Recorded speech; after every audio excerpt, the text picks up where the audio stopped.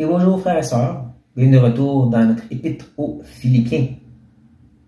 Où est-ce que Paul va nous amener un passage un peu difficile et controversé? Controversé parce qu'il parle de la souveraineté de Dieu d'une façon qui dérange certaines personnes. Parce qu'il parle aussi du salut et de travailler un salut, comme si on peut gagner notre ciel.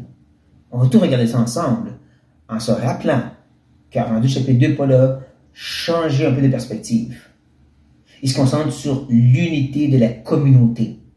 Rappelez-vous, les, quatre premiers versets, c'est tout sur ce commandement, cet impératif. Vous devez chercher cette unité. Et ensuite, 140, c'est l'exemple par excellence de Jésus. Celui qui tellement été un, qui a, repoussé toute l'idée de se faire servir et est venu ensuite à la place, nous servir. Ça, c'est l'exemple que vous devez regarder. Mais c'est toujours qu'est-ce qui est en tête lorsqu'on arrive dans notre passage. Cet aspect communautaire corporatif. Euh, bien souvent, on se concentre sur le nous quand on regarde la Bible, mais on ne devrait pas, parce que le Nouveau Testament et même toute la Bible, elle est communautaire. Corporatif, c'est, c'est le corps de Christ. Chaque membre faisant partie du tout. Ça, c'est important. Nous allons voir que dans ces quatre petits versets, 12 à 15, que Paul va répéter vous devez, et voici pourquoi.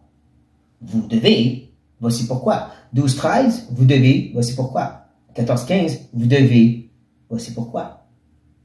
Impératif, la raison. Parce que tout ce que Dieu demande, il y a toujours un raisonnement que Dieu nous partage.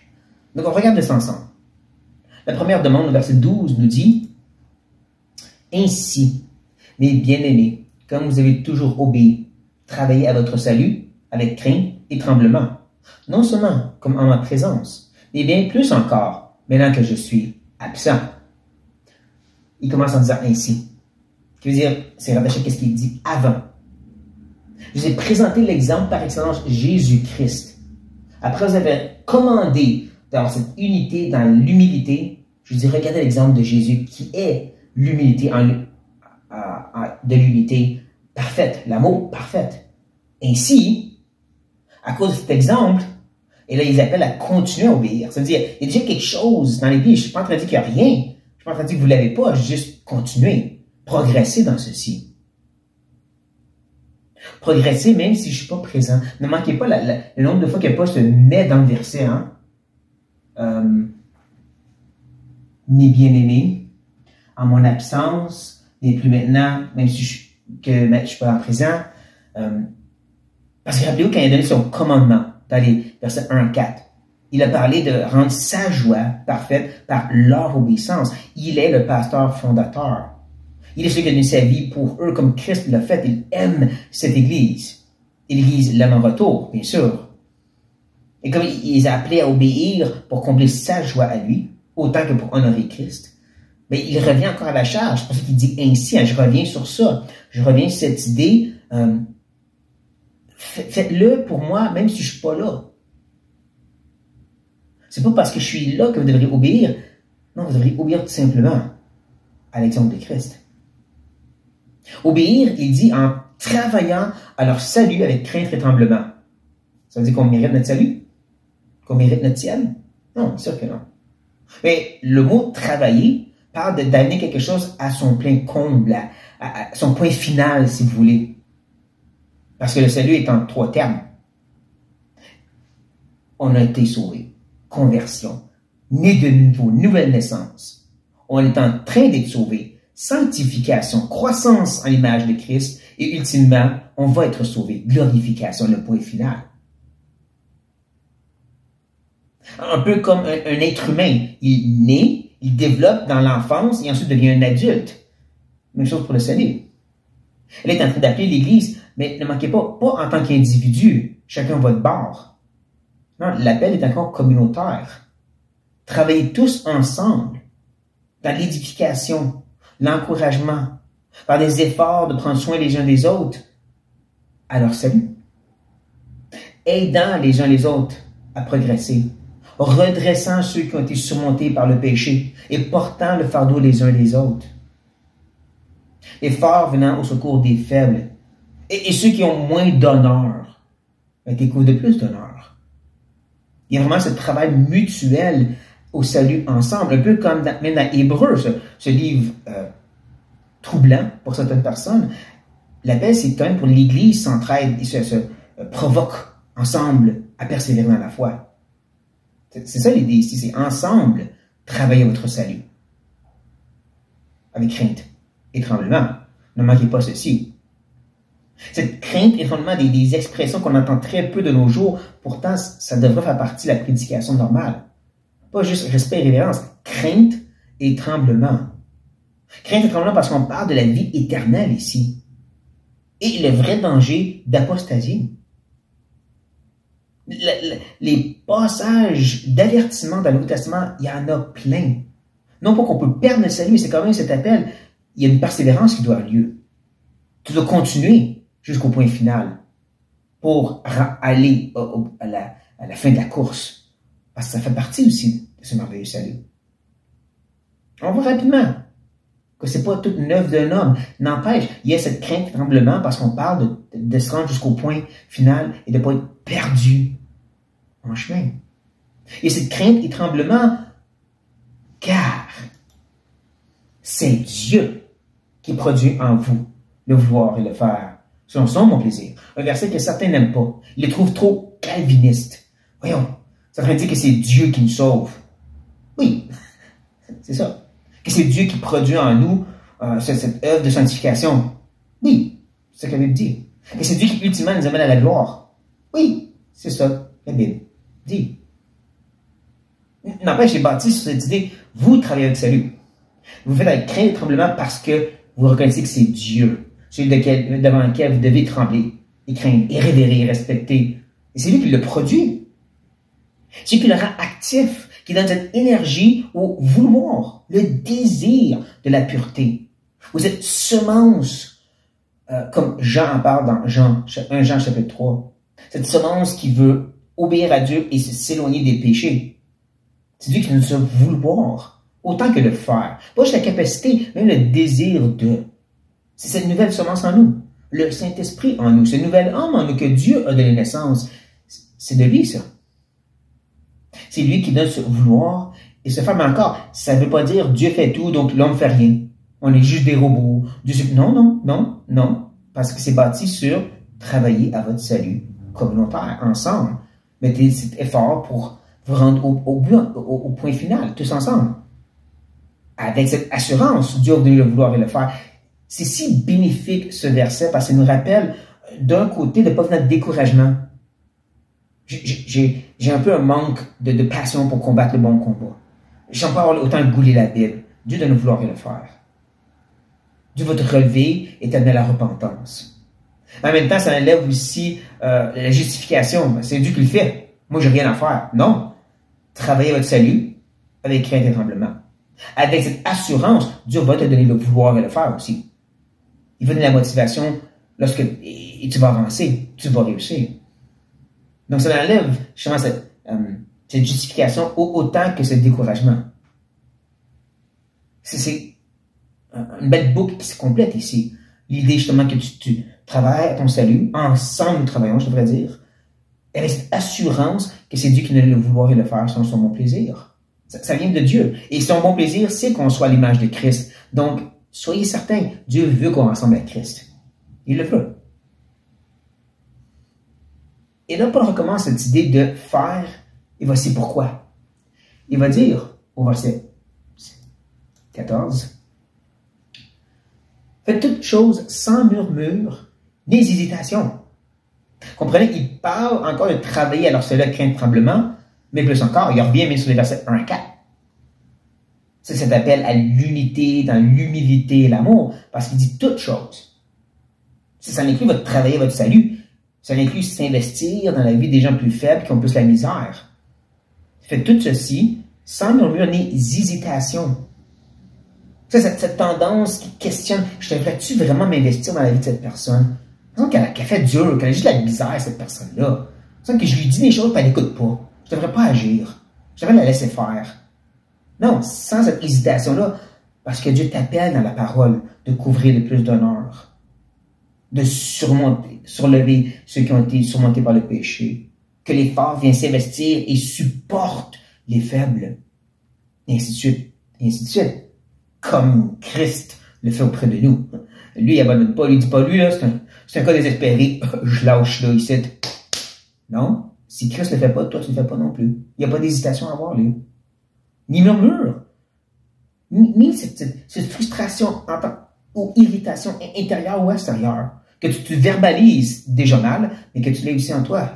Peut-tu? Non. Il n'y a pas de place pour ça, dit. Tu dois t'appliquer à ces choses sans ces murmures et ces hésitations.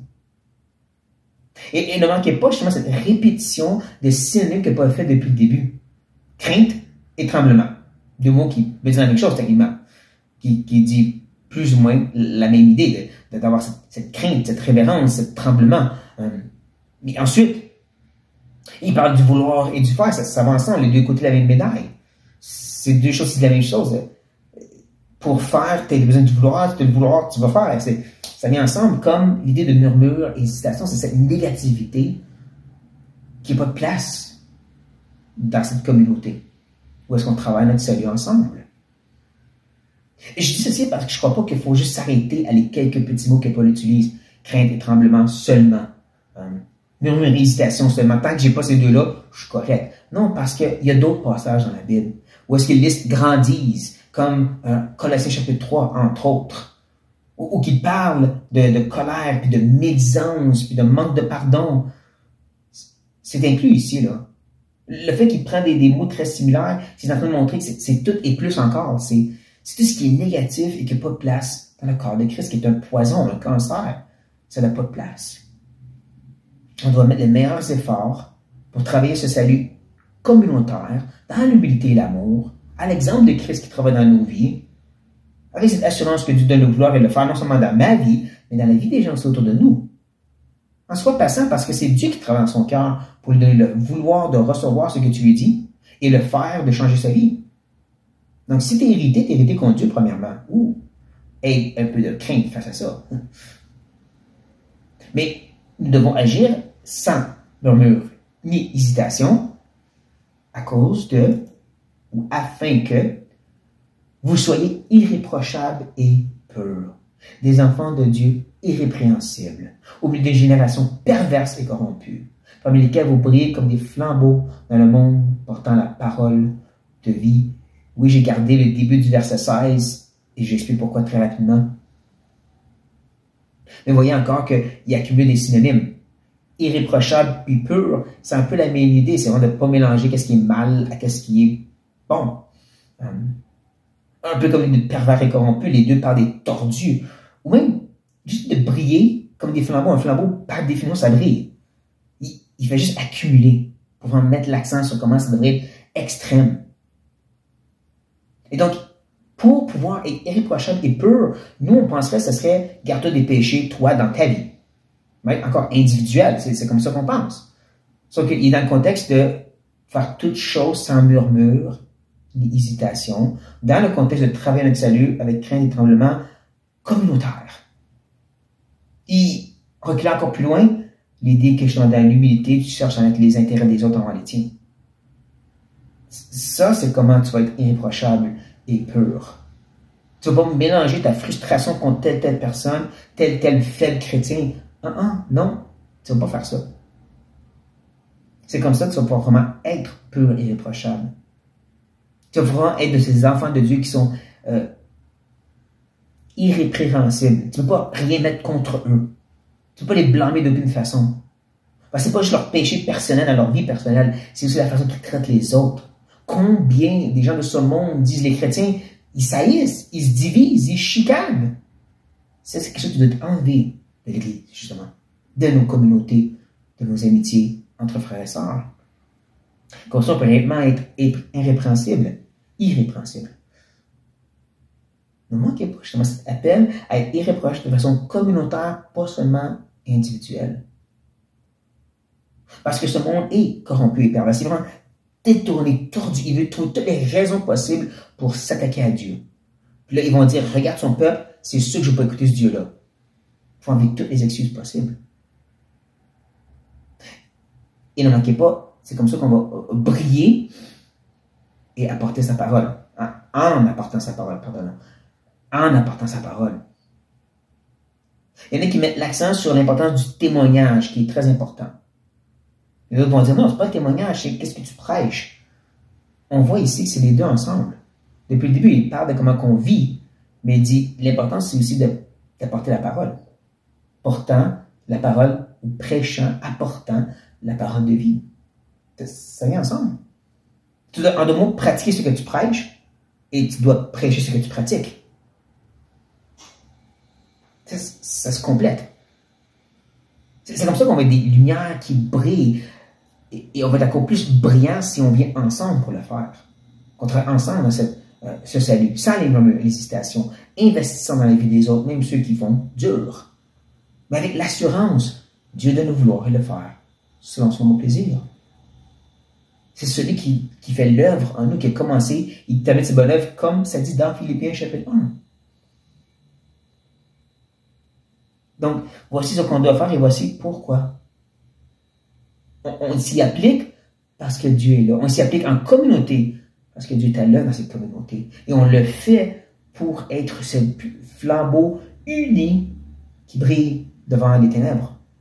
Non pas tous vont recevoir ou bien euh, euh, apprécier ou, être attirés, le mot que je cherchais ici, attirés par cette flambeau. Non, Paul le dit aux Corinthiens, on est en odeur de vie pour certains, mais aussi en odeur de mort. Ils vont voir nos vies, ils vont entendre nos paroles, puis ils vont repousser quand même. Mais d'autres vont y être attirés. Nous, on est appelés à briller. Et encore, briller pas individuellement, de façon corporative. Bon. Sur cette note, tournons vers Dieu en prière. Éternel grand Dieu, nous aimons ta parole parce qu'elle révèle la vérité. Elle expose nos mensonges, nos laideurs, nos excuses aussi. Tu nous appelles à ce travail communautaire de salut, de sanctification. Ultimement, de s'entraider ensemble, d'avancer jusqu'au but ultime, du point final de l'image de Christ. Oh oui, Père, aide-nous à venir et être ce flambeau plus brillant ensemble. Non pas par notre propre purification individuelle, mais l'effort d'aider les frères et sœurs accomplir ce changement sanctification aussi, comme Christ. Comme Christ est venu, comme Christ a envoyé son esprit qui travaille en nous, qui ne perd pas patience devant notre désobéissance. On prie que tu nous aides aussi à s'investir dans la vie des gens de la même façon, Père. Garde-nous. Garde-nous de murmures et d'hésitations de dire hum, peut-être que non. Garde-nous, Seigneur, et qu'on soit toujours à l'œuvre en regardant Christ. Nous prions tout au nom de Jésus-Christ. Amen. Tout ça, frère et j'espère que ça fut bénéfique, que ça donne toujours plus une appréciation de sa parole. Laissez moi par des commentaires en bas et euh, soyez bénis.